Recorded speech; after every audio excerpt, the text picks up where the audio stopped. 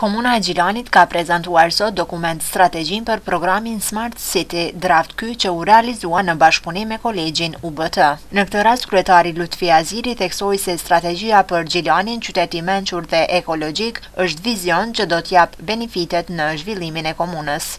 Jam jashtëzakonisht i kënaqur që kemi në dorë një strategji, një dokument dhe një veprim të cilën ne gradualisht do ta zhvillojmë. Do të jemi të parët në ndërtimin e vizionit për qytet të mençur dhe ekologjik, i cili jep benefite drejtpërdrejt jo vetëm zhvillimit tonë të komunës, por edhe jetës ekonomike në Gjilan. Ndërsa profesori universitar nga UBT, hartuesi i këtij dokumenti tregon më tepër për modulet që do të përfshihen në këtë dokument. Prej projekteve që veç ne i kemi i kemi identifiku në këtë strategji janë projektet për ndërtimet pa leje, arhiven në zhvillimin e arhivës, bibliotekave, digjitalizimin e bibliotekës, WiFi-në publike që do të jetë një prej projekteve që mund të realizohet shumë shpejt që secili qytetar i komunës të ketë momentin që hyn zonën urbane të ketë qasje në WiFi publike dhe pa pagesë, pastaj do të jetë projekti për menaxhimin e mençur të rrjetit të ujësjellësit, me theks të veçantë në rrjetin primar dhe edhe sekondar dhe në vendosjen e orëve të mençura, pastaj projekti tjetër është për zonat e gjelbërta në zonën urbane ose hapësirat e gjelbërta në zonën urbane të të Komunës së Gjilanit, e projekte të, të, të tjera të cilat janë identifikuar mirëpo do të vazhdojnë, do të vazhdojnë në, në, në, në vazhdim. Për strategjinë që pritet ta bëjë Gjilanin si të parin me shërbime online në të gjitha dikasteret, foli edhe drejtoresha e Zhvillimit Ekonomik, Valbona Tahiri. Komuna e Gjilanit është në hap me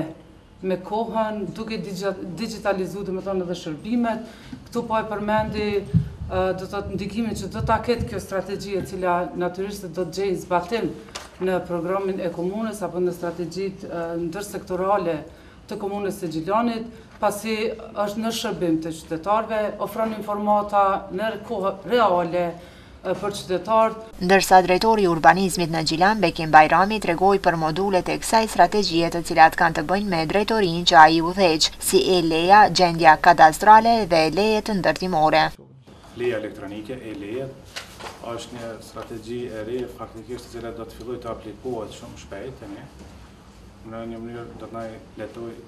jetën shumë. edhe neve si urbanizëm, edhe qytetarët të cilët janë të interesu me ndërtu, apo të cilët kanë planet të ndryshme në planifikim. Gjitha planet hapësinore do të jenë online, do të aplodohen sipas edhe pjesës fundit, plani zhvillimor i cili është tash në funksionalizim, Po edhe planet në vazhdim. Strategjia Gjilani, qytet i mençur dhe ekologjik pritet të ofrojë shërbime digjitale në thuajse të gjitha drejtoritë, e cila pritet të vihet në shërbim shpejt në disa nga modulet e kësaj strategjie që tashmë janë gati. Një nga shërbimet që mendohet të përfshihet po ashtu në të ardhmen e kësaj strategjie është sistemi i menaxhimit të transportit urban dhe ndërurban, ndërsa tashmë janë të përfshira edhe të gjitha hapësirat publike dhe të gjelbërta në Gjilan. Këto shërbime dhe programi Smart City pritet që përveç qytetarëve t'i shërbejë edhe komunës, duke qenë kështu në hap dhe në sinkron edhe me kërkesat e qytetarëve, por edhe me qytetet evropiane me të cilat komuna ka bashkëpunim. Zyrtarisht kjo strategji në Gjilan është e para e llojit në Kosovë, gjersa pritet të realizohet edhe në komuna të tjera.